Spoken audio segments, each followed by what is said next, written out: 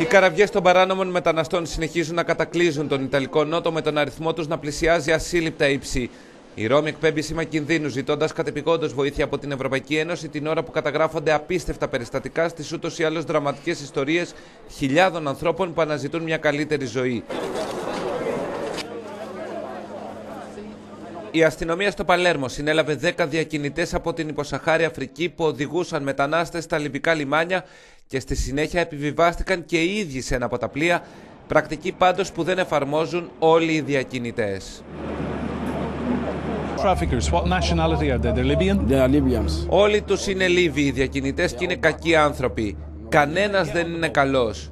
Ποτέ δεν ανεβαίνουν εκείνοι στα πλοία και σε παρατάνε εκεί. Είσαι μόνος σου, εσύ και ο Θεός. Οι Λίβοι δεν είναι καλοί. Σε κτυπούν, σε σκοτώνουν. Δόξα σε ο Θεός, εγώ επέζησα. Παράλληλα, συνελήφθησαν και 15 μουσουλμάνοι παράνομοι μετανάστες για τη δολοφονία 12 Νιγηριανών και Γκανέζων χριστιανών συνεπιβατών τους πάνω στο πλοίο που τους μετέφερε στην Ευρώπη, τους οποίους πέταξαν στη θάλασσα λόγω του θρησκεύματός τους. Μεταξύ των συλληφθέντων είναι και ένας 17χρονο. Στο κέντρο συντονισμού της Ιταλικής Ακτοφυλακής, οι αναφορές για νέα περιστατικά λαμβάνουν καταιγιστική μορφή.